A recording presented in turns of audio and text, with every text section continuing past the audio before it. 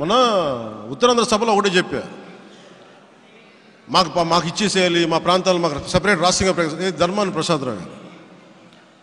ఏమో పెద్ద మనిషి ఇప్పుడు నీకు అధికారం రాలేదనుకో పదవి రాలేదు వెంటనే రాష్ట్రాలు ఎడగొట్టేస్తావా అంటే ప్రతి ఒక్కళ్ళు రాయలసీమ నుంచి కూడా ఆయన ఎవరు? బైరెడ్డి రాజశేఖర్ గట ఆయన మాకు కూడా సపరేట్ రాష్ట్రం ఇచ్చారు కుదరదు అట్లా. ఈ దేశం కోసం చాలామంది పనిచేసాం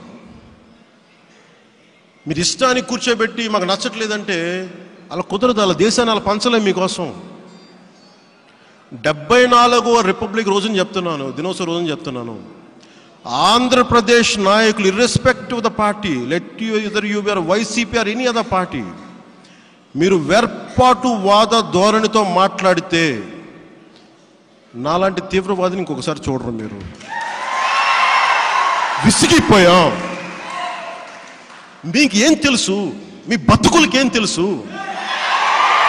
వెళ్ళారా మీరు? ఒక్కసారి కాన్స్టిట్యూంట్ కాన్స్టిట్యూయెంట్ అసెంబ్లీ డిబేట్స్ చదివారా? కరప్షన్ గురించి మీకు కరప్షన్ చేసిన మునిగిపోయిన మీకు పబ్లిక్ పాలసీ తెలియని మీకు రాష్ట్రాన్ని విడగొట్టేస్తారు. మీకు అధికారం లేకపోతే మేము చూస్తూ కూర్చుంటామా మేము? దేశభక్తులు! తోలు తీసి కింద కూర్చోబెడతాం ఇంకొకసారి ఆంధ్రప్రదేశ్ని విడకొడతాం విడకొడతాం విడకొడతాం అంటే తోలు తీసి కింద కూర్చోబెడతాం. తమాషాలుగా ఉంది ఒక్కొక్కరికి విసిగిపోయాం సన్నాసులతో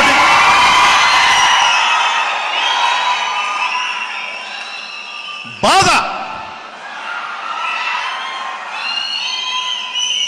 మా నేల మా నేల కాదా ఇది? మా దేశం కాదా ఇది? మేము కాదా ఇది? మాట్లాడతారు మీరు అందరూ కూర్చోబెట్టి. రాయలసీమ రాయలసీమ అంటారు. ఏం చేశారు రాయలసీమకు మీరు? ఎంతమంది ముఖ్యమంత్రులు రాయలసీమ నుంచి వచ్చారు. రాయలసీమను మీరు ఎందుకు కాపాడుకోలేకపోయారు?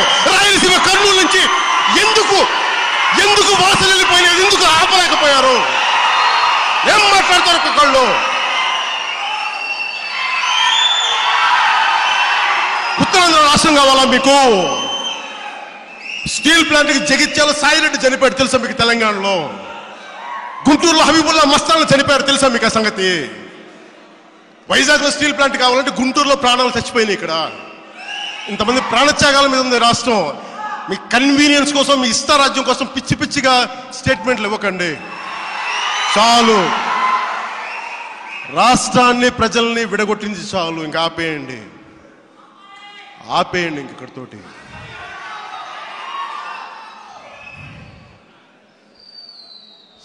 శాంతి